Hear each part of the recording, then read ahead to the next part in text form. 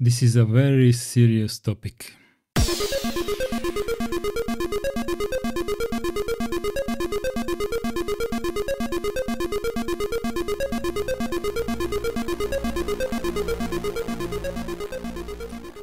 Hello there and welcome to another episode of Linux Renaissance. Today we are going to talk about how to be a Linux user. So first of all, you need to have a beard, right? If you have a beard, then you are a real Linux user. No discrimination. This includes everyone. So, number 2, you need to carry a ThinkPad everywhere, okay? Bonus points if it's covered in uh, you know open source stickers. Uh, but yeah, basically you need to carry your ThinkPad everywhere. You go to the coffee bar, you carry a ThinkPad with you. You go to your friend's house, you carry a ThinkPad with you, uh, and so on, right? So that that's number two.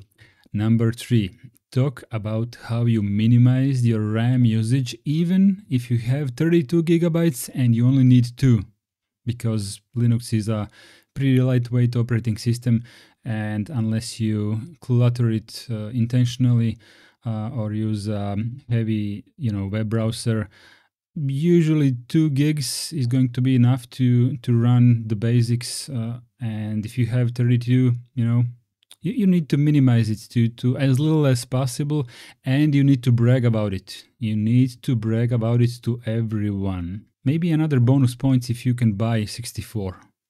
Okay, so Next point, set up a server for your family, even if they didn't ask for it, okay? Now they have one.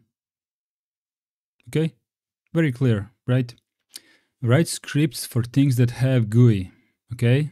Why click with a mouse if you can write 20 lines of shellcode?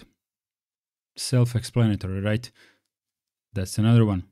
Also, while outside with friends, you need to explain to everyone why Linux is superior, even if nobody asks. You, you have to explain to everyone, okay?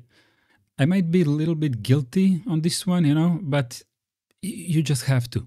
You have to. Okay, last but not the least, brag about your uptime because nothing, and I mean nothing, says stability like 600 days of uptime. Okay? See you in the next video.